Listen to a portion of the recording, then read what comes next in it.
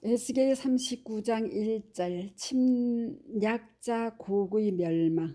그러므로 인자야 너는 고객에 예언하여 이르기를 주 여호와께서 이같이 말씀하시되 로스와 메색과 두발 왕 곡아 내가 너를 대적하여 너를 돌이켜서 이끌고 북쪽 끝에서부터 나와서 이스라엘 산 위에 이르러 내 활을 쳐서 내 왼손에서 떨어뜨리고 내 화살을 내 오른손에서 떨어뜨리리니 너와 내 모든 무리와 너와 함께 있는 백성이 다 이스라엘 산 위에 엎드려지리라. 내가 너를 각종 사나운 새와 들짐승에게 넘겨 먹게 하리니 내가 내 빈들에 엎드려지리라. 이는 내가 말하였음이니라. 주 여호와의 말씀이니라. 내가 또 불을 마곡과 및 섬에 평안히 거주하는 자에게 내리리니 내가 여호와인 줄을 그들이 알리라. 내가 내 거룩한 이름을 내 백성 이스라엘 가운데에 알게 하여 다시는 내 거룩한 이름을 더럽히지 아니하게 하리니 내가 여호와 곧 이스라엘의 거룩한 자인 줄을 민족들이 알리라 하라. 주 여호와의 말씀이니라. 볼지어다 그날이 와서 이루어지리니 내가 말한 그날이 이 날이라. 이스라엘 성읍들에 거주하는 자가 나가서 그들의 무기를 불태워 사르되 큰 방패와 작은 방패와 활과 화살과 몽둥이와 창을 가지고 일곱 해 동안 불태우리라. 이같이 그 무기로 불을 피울 것이므로 그들이 들에서 나무를 주오지 아니하며 숲에서 벌목하지 아니하겠고 전에 자기에게서 약탈하던 자의 것을 약탈하며 전에 자기에게서 늑탈하던 자의 것을 늑탈하리라 주 여호와의 말씀이니라 그날에 내가 곡을 위하여 이스라엘 땅 곧 바다 동쪽 사람이 통행하는 골짜기를 매장지로 줄이니 통행하던 길이 막힐 것이라 사람이 거기에서 곡과 그 모든 무리를 매장하고 그 이름을 하몬 고구의 골짜기라 일컬으리라. 이스라엘 족속이 일곱 달 동안에 그들을 매장하여 그 땅을 정결하게 할 것이라.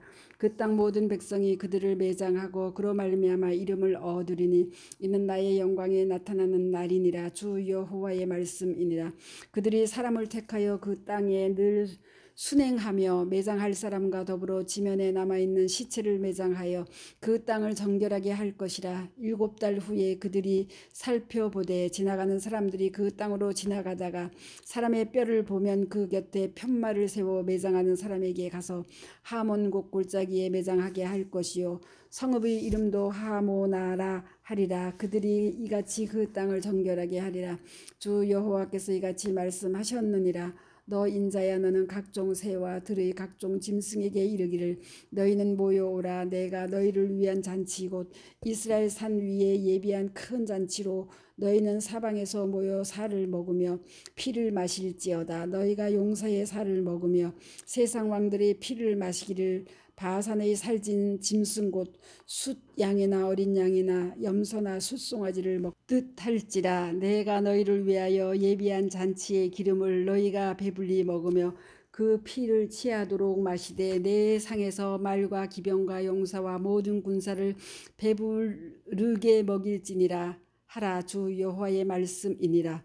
이스라엘의 회복 내가 내 영광을 여러 민족 가운데에 나타내어 모든 민족이 내가 행한 심판과 내가 그 위에 나타낸 권능을 보게 하리니 그날 이후에 이스라엘 족속은 내가 여호와 자기들의 하나님인 줄을 알겠고 여러 민족은 이스라엘 족속이 그 죄악으로 말미암아 사로잡혀 갔던 줄을 알지라.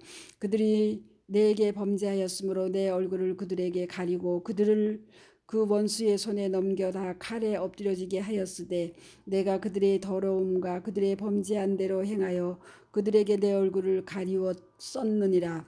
그러므로 주 여호와께서 이같이 말씀하셨느니라 내가 이제 내 거룩한 이름을 위하여 열심을 내어 야곱의 사로잡힌 자를 돌아오게 하며 이스라엘 온 족속에게 사랑을 베풀지라 그들이 그 땅에 평안히 거주하고 두렵게 할 자가 없게 될 때에 부끄러움을 품고 내게 범한 죄를 뉘우치리니 내가 그들을 만민 중에서 돌아오게 하고 적국 중에서 모아내어 많은 민족이 보는 데서 그들로 말미암아 나의 거룩함을 나타낼 때라.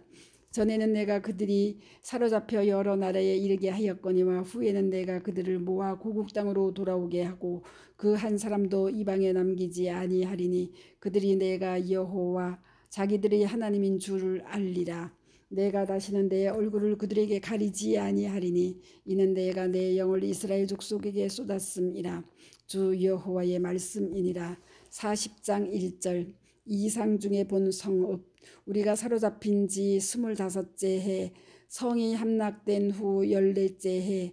첫째 달 열째 날에 곧 그날에 여호와의 권능이 내게 임하여 나를 데리고 이스라엘 땅으로 가시되 하나님의 이상 중에 나를 데리고 이스라엘 땅에 이르러 나를 매우 높은 산 위에 내려놓으시는데 거기에서 나무로 향하여 성읍 형상 같은 것이 있더라. 나를 들이시고 거기에 이르시니 모양이 녹같이 빛난 사람 하나가 손에 삼줄과 측량하는 장대를 가지고 문에 서 있더니 그 사람이 내게 이르되 인자야 내가 내게 보이는 그것을 눈으로 보고 귀로 들으며 내 마음으로 생각할지어다. 내가 이것을 내게 보이려고 이리로 데리고 왔나니 너는 본 곳을 다 이스라엘 족속에게 전할지어다 하더라. 동쪽을 향한 문 내가 본즉 집 바깥 사방으로 담이 있더라. 그 사람의 손에 측량하는 장대를 잡았는데 그 길이가 팔꿈치에서 손가락에 이르고 한 손바닥 너비가 더한 자로 여섯 척이라. 그 담을 측량하니 두께가 한 장대요 높이도 한 장대며 그가 동쪽을 향한 문에 이르러 층계에 올라 그 문의 통로를 측량하니 길이가 한 장대요 그 문 안쪽 통로의 길이도 한 장대며 그 문간에 문지기 방들이 있는데 각기 길이가 한 장대요. 너비가 한 장대요. 각 방 사이 벽이 다섯 척이며 안쪽 문 통로의 길이가 한 장대요. 그 앞에 현관이 있고 그 앞에 안문이 있으며 그가 또 안문의 현관을 측량하니 한 장대며 안문의 현관을 또 측량하니 여덟 척이요. 그 문벽은 두 척이라. 그 문의 현관이 안으로 향하였으며 그 동문간의 문지기 방은 왼쪽에 셋이 있고 오른쪽에 셋이 있으니 그 셋이 각각 같은 크기요. 그 좌우편 벽도 다 같은 크기며 또 그 문 통로를 측량하니 너비가 열 척이요. 길이가 열세 척이며 방 앞에 칸막이 벽이 있는데 이쪽 칸막이 벽도 한 척이요 저쪽 칸막이 벽도 한 척이며 그 방은 이쪽도 여섯 척이요.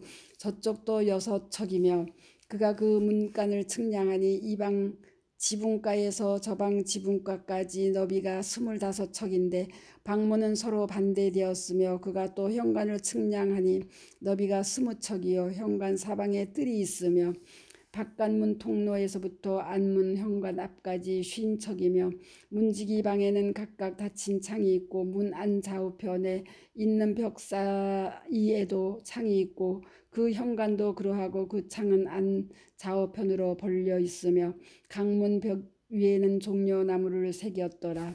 바깥들 그가 나를 데리고 바깥들에 들어가니 뜰 사면에 박석 깔린 땅이 있고 그 박석 깔린 땅 위에 여러 방이 있는데 모두 서른이며 그 박석 깔린 땅의 위치는 각 문간의 좌우편인데 그 너비가 문간 길이와 같으니 이는 아래 박석 땅이며 그가 아래 문간 앞에서부터 안뜰 바깥 문간 앞까지 측량하니 그 너비가 백척이며 동쪽과 북쪽이 같더라. 북쪽을 향한 문 그가 바깥들 북쪽을 향한 문간의 길이와 너비를 측량하니 길이는 쉰척이요 너비는 스물다섯 척이며 문지기 방이 이쪽에도 셋이요 저쪽에도 셋이요. 그 벽과 그 현관도 먼저 측량한 문간과 같으며 그 창과 현관의 길이와 너비와 종려나무가 다 동쪽을 향한 문간과 같으며 그 문간으로 올라가는 일곱 층계가 있고 그 안에 현관이 있으며 안뜰에도 북 북쪽 문간과 동쪽 문간과 마주 대한 문간들이 있는데 그가 이 문간에서 맞은 쪽 문간까지 측량하니 백척이더라. 남쪽을 향한 문 그가 또 나를 이끌고 남으로 간즉 남쪽을 향한 문간이 있는데 그 벽과 현관을 측량하니 먼저 측량한 것과 같고 그 문간과 현관 좌우에 있는 창도 먼저 말한 창과 같더라. 그 문간의 길이는 쉰 척이요 너비는 스물다섯 척이며 또 그리로 올라가는 일곱 층계가 있고 그 안에 현관이 있으며 또 이쪽 저쪽 문벽 위에 종려나무를 새겼으며 안뜰에도 남쪽을 향한 문간이 있는데 그가 남쪽을 향한 그 문간에서 맞은쪽 문간까지 측량하니 백척이더라. 안뜰 남쪽 문 그가 나를 데리고 그 남문을 통하여 안뜰에 들어가서 그 남문의 너비를 측량하니 크기는 길이가 쉰 척이요 너비가 스물다섯 척이며 그 문지기 방과 벽과 현관도 먼저 측량한 것과 같고 그 문간과 그 현관 좌우에도 창이 있으며 그 사방 현관의 길이는 스물다섯 척이요 너비는 다섯 척이며 현관이 바깥들로 향하였고 그 문 벽 위에도 종려나무를 새겼으며 그 문간으로 올라가는 여덟 층계가 있더라. 안뜰 동쪽 문 그가 나를 데리고 안뜰 동쪽으로 가서 그 문간을 측량하니 크기는 길이가 쉰 척이요 너비가 스물다섯 척이며 그 문지기 방과 벽과 현관이 먼저 측량한 것과 같고 그 문간과 그 현관 좌우에도 창이 있으며 그 현관이 바깥들로 향하였고 그 이쪽 저쪽 문벽 위에도 종려나무를 새겼으며 그 문간으로 올라가는 여덟 층계가 있더라. 안뜰 북쪽문.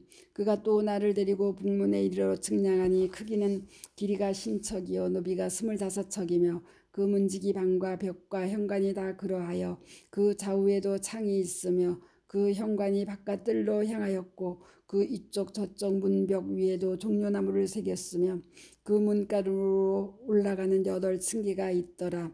안뜰 북쪽 북의 부속 건물들. 그문 벽 곁에 문이 있는 방이 있는데 그것은 번제물을 씹는 방이며 그 문의 현관 이쪽에 상둘이 있고 저쪽에 상둘이 있으니 그 위에서 번제와 속죄제와 석곤제의 희생제물을 잡게 한 것이며 그 북문 바깥 곳 입구로 올라가는 곳 이곳에 상둘이 있고 문의 현관 저쪽에 상둘이 있으니 문 곁 이쪽에 상이 넷이 있고 저쪽에 상이 넷이 있어 상이 모두 여덟 개라 그 위에서 희생 제물을 잡았더라. 또 다듬은 돌로 만들어 번제에 쓰는 상대시 있는데 그 길이는 한 척 반이요 너비는 한 척 반이요 높이는 한 척이라 번제의 희생제물을 잡을 때에 쓰는 기구가 그 위에 놓였으며 현관 안에는 길이가 손바닥 넓이만한 갈고리가 사방에 박혔으며 상들에는 희생제물의 고기가 있더라. 안문 밖에 있는 안뜰에는 노래하는 자의 방 둘이 있는데 북문 곁에 있는 방은 남쪽으로 향하였고 남문 곁에 있는 방은 북쪽으로 향하였더라. 그가 내게 이르되 남쪽을 향한 이 방은 성전을 지키는 제사장들이 쓸 것이요 북쪽을 향한 방은 제단을 지키는 제사장들이 쓸 것이라. 이들은 레위의 후손 중, 중 사독의 자손으로서 여호와께 가까이 나아가 수정두는 잔이라 하고 그가 또 그것들을 측량하니 길이는 백척이요 너비는 백척이라 네모 반듯하며 제단은 성전 앞에 있더라. 성전 문 현관. 그가 나를 데리고 성전 문 현관에 이르러 그 문의 좌우 벽을 측량하니 너비는 이쪽도 다섯 척이요 저쪽도 다섯 척이며 두께는 문 이쪽도 세 척이요 문 저쪽도 세 척이며 그 현관의 너비는 스무 척이요 길이는 열한 척이며 문간으로 올라가는 층계가 있고 문벽 곁에는 기둥이 있는데 하나는 이쪽에 있고 다른 하나는 저쪽에 있더라. 아멘 스토리 양입니다. 감사합니다.